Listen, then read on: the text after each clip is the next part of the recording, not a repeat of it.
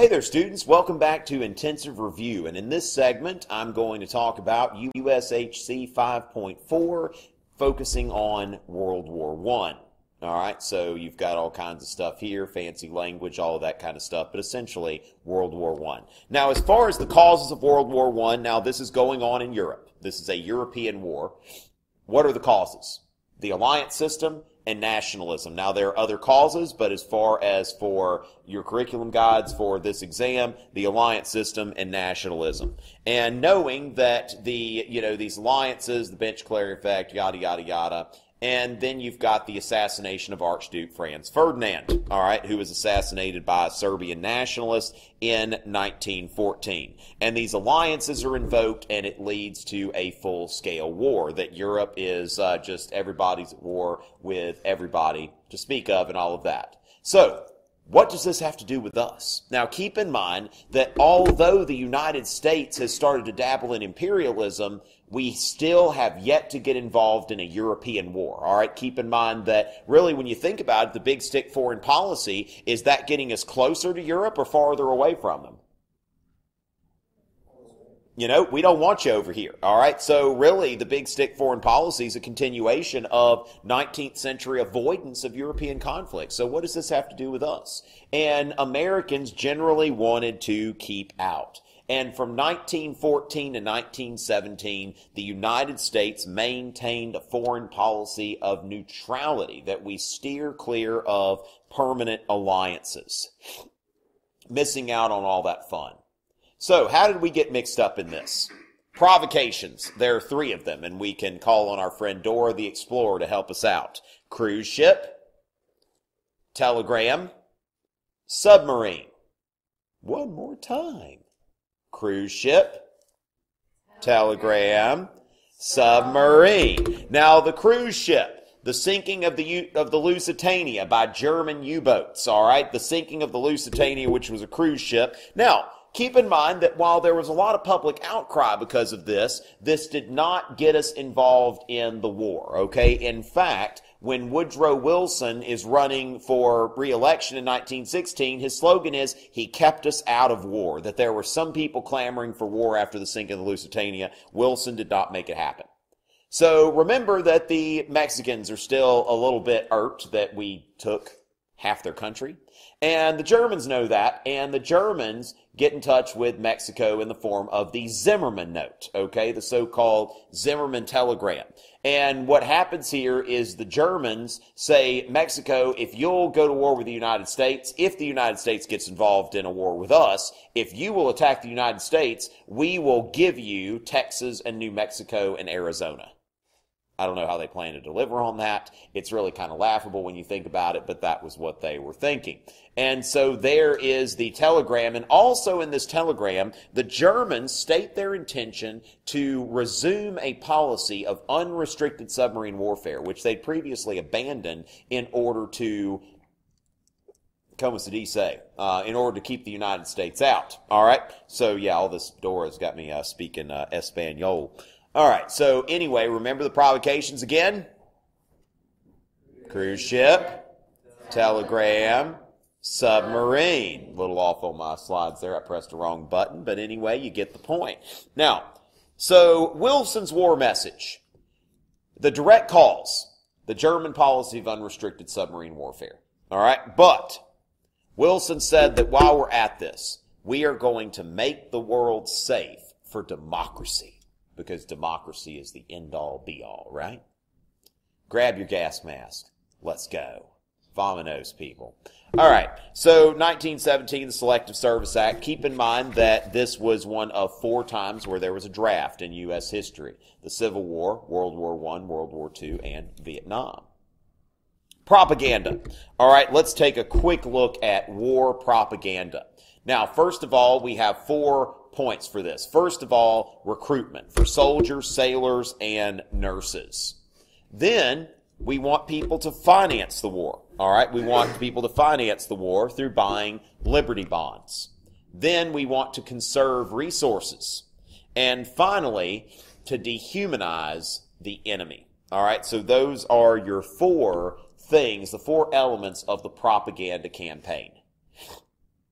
And you see here, you are dehumanizing the enemy here. That here is the enemy who abuses women. Which side of the, you know, which side of the window are you? Okay, so are you the guy that's out there going to war, or are you the guy inside, appealing to manhood? All right, uh, once again, we see here you can uh, learn a trade or something like that if I were a man, I'd join the Navy. So once again, if you're a real man, then go ahead and uh, and join. Even a dog enlist. I mean, this dog showed up and volunteered. So you know, not you, and you know, become a trained nurse.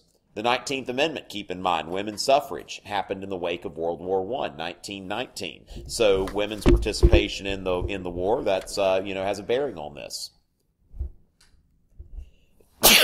Daddy bought me a Liberty loan. We see here the Liberty bonds, all that kind of stuff. If you think that, you know what, I don't have enough money for a Liberty bond, well, this guy died. All right. So you can afford a Liberty bond. Save food, meat, and wheat. Okay, keep in mind, but uh, un-American to eat steak during the war, as, as American as steak is in most cases. No wheat either. Remember meat and wheat. So did you know cottage cheese has more protein than like all this other stuff? Doesn't matter. I want meat. But during wartime, it's unpatriotic to eat too much meat. Planet Victory Garden, yada yada, sheep clubs. Woodrow Wilson had sheep on the White House lawn. Anyway, I think you're getting the point. All right. There's the sheep. All right. It's on YouTube. And then dehumanizing the enemy, calling him the Hun and that sort of thing, and uh, portraying him as a as an ape, as a mad brute. Now, the Espionage and Sedition Acts. We've talked about the Alien Sedition Acts. These were very similar. That there were a lot of laws that were passed here to outlaw anti-war speech, discouraging the purchase of war bonds, opposing the draft and all of that kind of stuff that could undermine the war effort. The other day, I saw somebody with a front license plate with a German flag on it, which during World War One, this was illegal. If someone were to display a German flag, it was illegal. So we see here that the Constitution is often ignored by government during wartime. Eugene Debs put in jail for resisting the draft. And hot dogs before World War One, they were more commonly called Frankfurters. You sometimes hear like about Franks, right? Okay, Frankfurters. We don't want to say that because we're at war with Germany. The German language used to be a very popular language to be taught in schools in the United States. Keep in mind that Germans make up the single largest group of, uh, you know, ancestry claims in the United States. But you barely see the German language taught over here. That's largely a result of the world wars. Before that, it was taught quite a bit as I said, a crime to display an enemy flag of someone we're at war with. So the armistice is signed, Germany surrenders, and they surrender on 11-11 at 11 a.m. And that's why on Veterans Day we observe like, you know, a moment of silence typically at 11 a.m. So now on to Wilson's 14 points. Now, the principles of Wilson's 14 points, we're not going to go through all 14 of them, but let's look at five principles here. First of all, freedom of the seas. All right, what we're trying to do here is keep a war from happening again. So each of these is looking at one of the causes. So if you look at the arms race before World War One, and also that neutral nations such as the United States should be able to use the seas without interference. Then reduction of arms. The arms race, once again, that uh, people were building up before the war, and after the war, we need to reduce arms. Open treaty negotiations. A lot of secret agreements were made before and during the war. Wilson says we don't need these secret agree- agreements. Self-determination of peoples. Nationalism in the Austrian Empire was one of the causes. So what we need to do is we need to break up the Austrian Empire. We need to take some land away from Germany and we need to create states that are based on nationality. And then five, we need to create a League of Nations, all right? And keep in mind that the goal here, as he gets on the USS George Washington, is a peace without victory. That's what Wilson wants, is a peace without victory. And it's really easy to say when he gets over there to the Paris Peace Conference uh, to discuss the Treaty of Versailles. And the United States, when we look at this, the United States was responsible for 2% of the total military deaths when you look at France and Britain, a lot more than that. and we want to make sure there's no more aggression. The war guilt clause, okay? And this is where the Allies, uh, especially the French, insisted on a war guilt clause, which Germany would claim responsibility for the war and they would pay reparations to the Allies, to Britain and France. And again, 14 points. We've got those. And the side Treaty of Versailles. Wilson scores a couple big victories, okay? The national borders and all of that kind of stuff and the League of Nations. So that pretty much puts us through World War One, and we will next go on to the Versailles Treaty controversy. See you in a bit.